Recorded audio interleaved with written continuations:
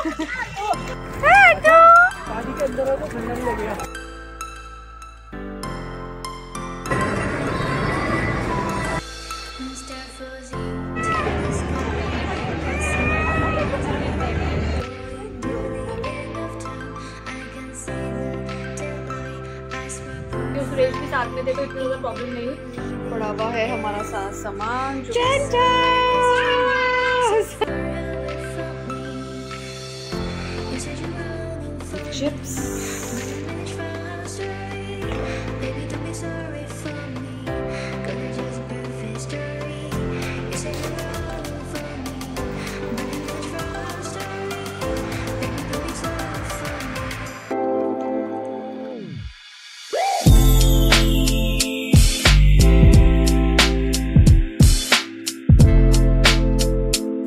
Everyone welcome back to the channel the मोमिशियस तो जैसा कि आप लोग को पता ही है कि हम लोग हॉलीडेज में आए हुए थे अपने होम टाउन देहरादून, और यहाँ पर बहुत सारा घूमना फिरना हमारा बस चल ही रहा है।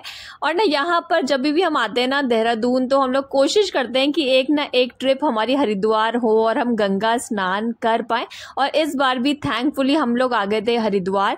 एक छोटी सी ट्रिप हमारी थी। दिन में हमारा प्लान था कि हम लोग यहाँ पर गंगा स्नान करेंगे। बट जितने भी घाट थे ना यहाँ पर वो बहुत ज़्यादा क्राउडेड थे। इस वजह से ये छोटा सा घाट हमको मिला था।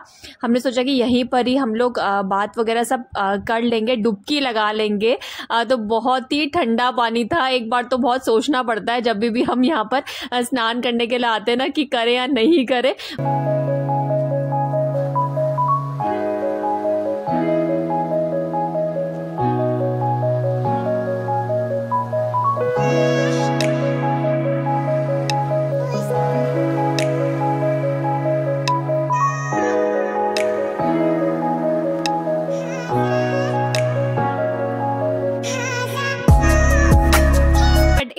बार अगर आप इस पानी के अंदर चले जाओ तो फिर तो आपको निकलने का बिल्कुल भी मन नहीं करता। है इतना ठंडा पानी था यहाँ पर। ये घाट ना वैसे इतना ज़्यादा क्लीन नहीं था, थोड़ी रेत रेत आ रही थी मतलब पैरों में ना।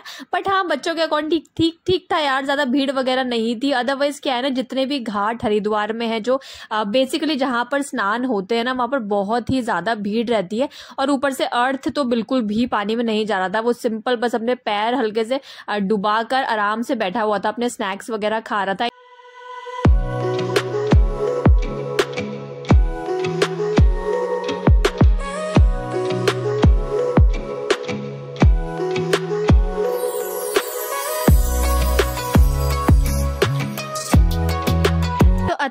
बहुत ज़्यादा इंजॉय करता है पानी में क्योंकि वैसे भी इतनी ज़्यादा गर्मी हो रही थी चाहे स्विमिंग पूल हो चाहे या फिर रिवर्स वगैरह हो ना काफ़ी अच्छा लगता है। इस टाइम पे मतलब नहाना तो बहुत ही सही रहता है इतनी गर्मी हो रही है बट अर्थ बिल्कुल भी ज़्यादा एक्साइटेड नहीं रहता है क्योंकि काफ़ी ठंडा पानी था तो, तो बिल्कुल भी कोशिश नहीं कर रहा था कि वो पानी में जाए बट हाँ मीन हम लोगों ने भी थोड़ी थोड़ी डुबकी लगा ली थी बहुत ही अच्छा लगा बहुत ही फ्रेश फील हुआ।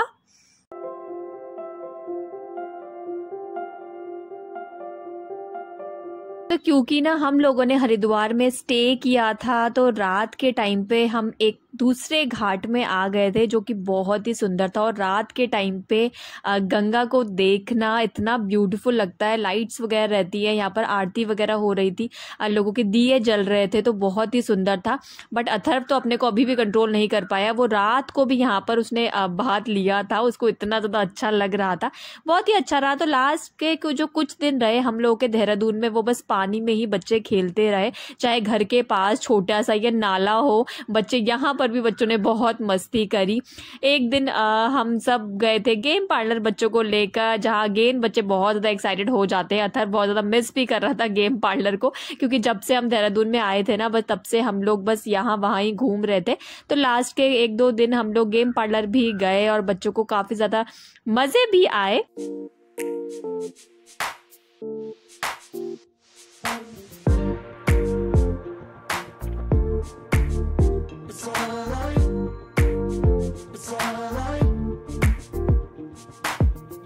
And finally the day came when we have to go to Mumbai back क्योंकि यार हॉलीडेज हमारी ऑलमोस्ट फिनिश हो गई थी। एंड uh, घर तो जाना ही था वापस। कितनी भी आप हॉलीडेज होम टाउन में आप रह लो बट वापस तो जाना ही पड़ेगा। सारे जो काम है हम लोगों के वो मुंबई से ही स्टार्ट होते हैं। तो बस वही है यार अपने को रिज्यूम करने के लिए अपने कामों को रिज्यूम करने के लिए बच्चों के स्कूल को रिज्यूम करने के लिए हम लोग आ गए हैं वापस बॉम्बे और वापसी की जो जर्नी रही हमारी बहुत ही ईजी रही। हम लोग फ़र्स्ट एसी में आए थे हम लोग को कूप मिल गया था थैंकफुली जो बहुत ही सही रहा। आ, सारी जर्नी बच्चे दोनों मस्ती करते हुए आए सोते हुए आए खाते हुए आए तो सही रहा सब कुछ सही रहा। और हम लोग आ गए हैं अपने जो डेली रूटीन में।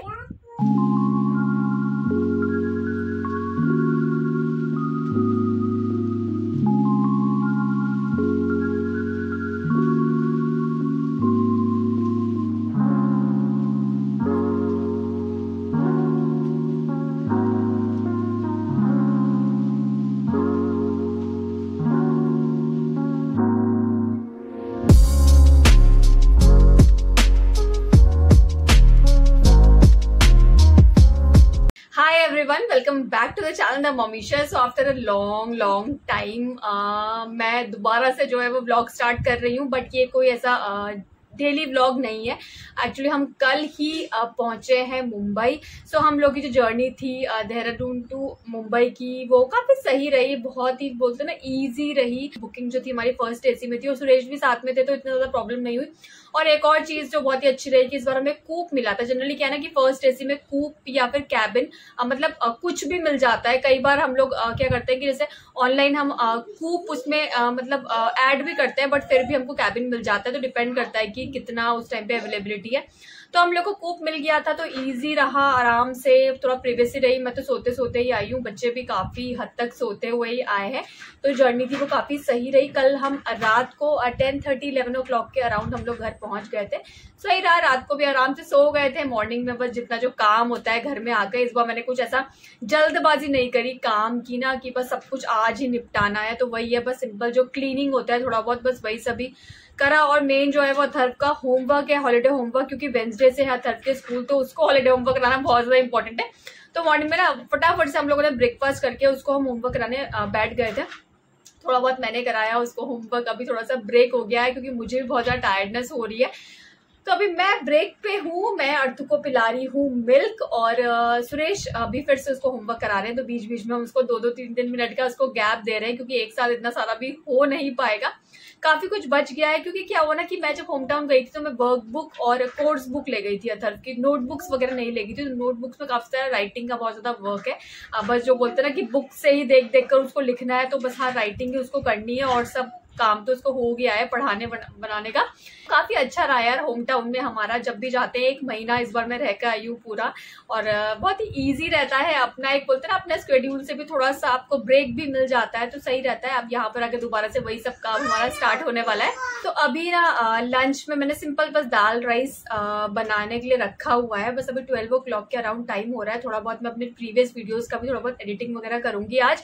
तो लास्ट के जो कुछ दिन रहे ना एक्चुअली देहरादून में बहुत ज़्यादा गर्मी रही है। इतनी हीट वेव थी इस बार देहरादून में भी कि लास्ट वीक तो मुझे ऐसे रहा कि बस मैं घर घर पर ही रहूँ, कहीं ना जाऊँ, इतनी ज़्यादा गर्मी थी तो लास्ट वीक थोड़ा सा तबियत भी मेरी काफ़ी ज़्यादा डाउन हो गई थी।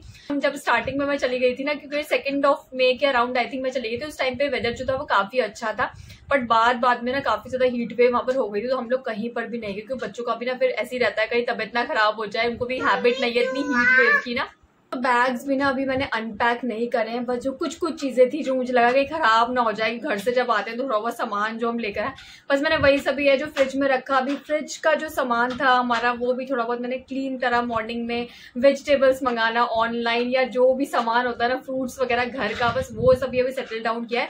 अदरवाइज़ जो बैग्स है, कपड़े हैं, वो सब अभी ऐसे ही पड़े हुए हैं। वो तो मेरे खोलने की अभी हिम्मत भी नहीं हो रही, क्योंकि इतना ना मेरे पास टाइम है और इतना ना मेरा भी बॉडी जो है वो सपोर्ट करेगी इतना। ये फिर आज का दिन हम स्टार्ट करते हैं और तो अथर्व कर रहा है अपना होमवर्क तब तक मैं थोड़ा बहुत अपना काम कर लेती हूँ। तो ये हैं हम लोगों के बैग्स जो कि आधा अभी ओपन हो चुके हैं कुछ अभी ऐसे ही रखे हुए हैं और क्योंकि आज संडे है तो सुरेश भी घर पे ही हैं तो मॉर्निंग में ही उनका जो ये टेंट हाउस है बच्चों का ये बना रहे थे। आ, बहुत सारे गिफ्ट्स बच्चों को मिले हैं तो ये टेंट हाउस बच्चों की बुआ ने उनको दिया है जो कि बहुत टाइम से वो एक्साइटेड थे। इनफैक्ट वो घर से ही बच्चे बोलते हुए आ रहे थे कि आप ये कब बनाओगे कब बनाओगे? तो मुझे लगा चलो आज तो मैं सुरेश से ये बनवा ही लेती हूँ क्योंकि फिर उसके उनके पास बिल्कुल भी टाइम नहीं रहेगा और की एक्साइटमेंट भी ना, फिर ऐसा हो जाता है कि बिल्कुल ही ढीले पड़ जाते हैं बच्चे भी ना। तो आज बच्चों के लिए बना दिया, थोड़ा टाइम पास बच्चों का भी हो जाएगा।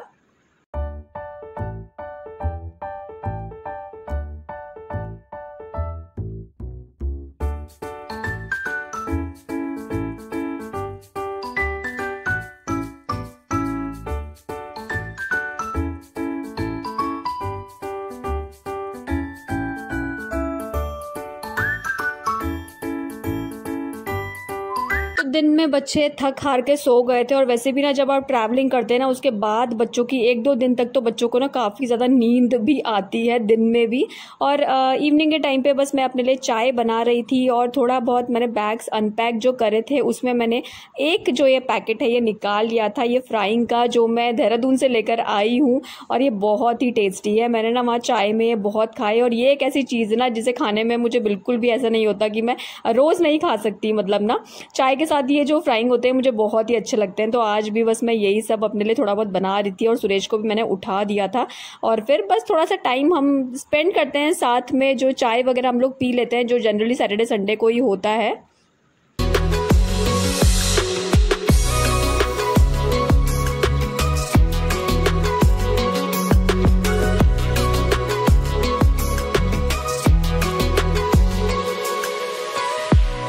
मैं इवनिंग की टीना कभी भी मिस नहीं करती। वैसे सुरेश को भी कोई चाय ज़्यादा पसंद नहीं है और मैं भी अकेले चाय पीना भी मुझे ज़्यादा पसंद नहीं होता है। बट हाँ जिस दिन सुरेश घर पे रहते हैं ना, उस दिन मैं कोशिश करती हूँ कि इवनिंग में एटलीस्ट एक चाय तो पी जाए और स्पेशली जब बच्चे सो रहे होते हैं तो बहुत ही आराम से आप थोड़ा बहुत बात भी कर सकते हैं तो सही रहता है काफ़ी।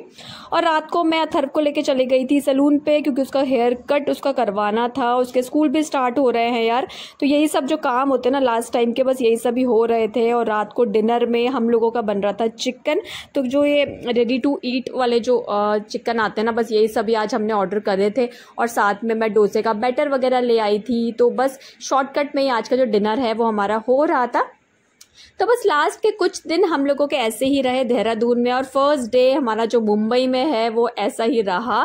आ, बहुत ही बोलते ना क्विकली सब कुछ आ, हो रहा है और बच्चों के साथ ना यार जल्दी जल्दी करना ही पड़ता है सेटल डाउन होना ही पड़ता है। अपने आप अगर आप अकेले हो ना तो आप धीरे धीरे कर सकते हो बट नहीं बच्चों को तो हर चीज़ टाइम पे चाहिए ही होती है। तो आई होप आप लोग को ये वाला व्लॉग अच्छा लगा होगा। मैंने क्विकली बहुत सारी चीज़ें इस वाले व्लॉग में आप लोग के साथ शेयर कर दी जो भी मेमोरीज मैं लास्ट टाइम पे देहरादून में बना पाई और फ़र्स्ट डे मुंबई में में जो भी मैं रिकॉर्ड कर पाई अदरवाइज़ तो घर अभी इतना ज़्यादा मिस मैनेज हो रखा है ना बट हाँ धीरे धीरे जो है वो चीज़ें सेटल डाउन हो जाएँगी। So thank you so much for watching this blog मिलती हूँ मैं आपको अपनी नेक्स्ट वीडियो में। Till then bye and take care lots of love